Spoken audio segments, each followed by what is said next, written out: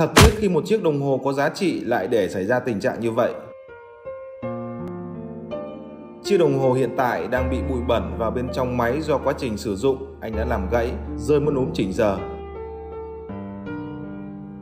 Phần vỏ bị cấn móp và xước nhiều.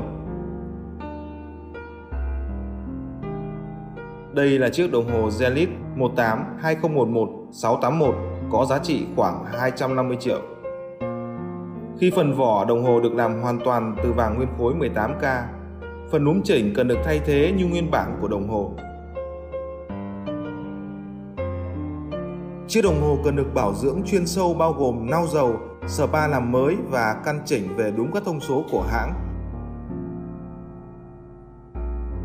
Zelit là một trong những thương hiệu đồng hồ Thụy Sĩ có bề dày lịch sử, được ra đời từ những năm 1865 và trải qua gần 16 thập kỷ hãng đã cho ra mắt hàng trăm loại máy do hãng tự nghiên cứu và sản xuất.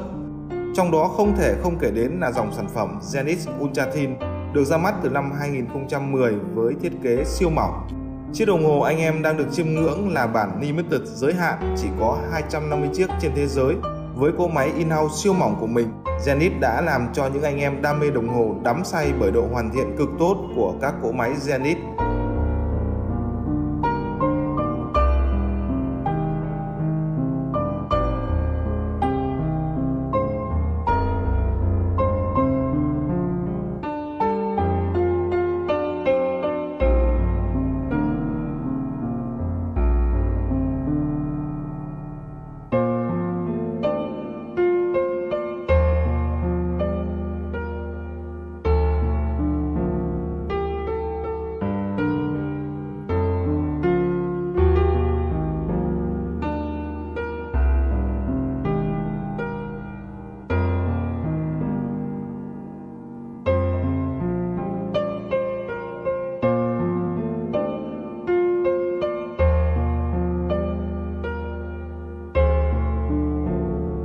Sau khi chiếc đồng hồ đã được bảo dưỡng, sửa chữa, thay thế núm chỉnh và spa làm mới, chiếc đồng hồ đã quay trở lại với vẻ đẹp vốn có và đạt các tiêu chuẩn thông số của hãng.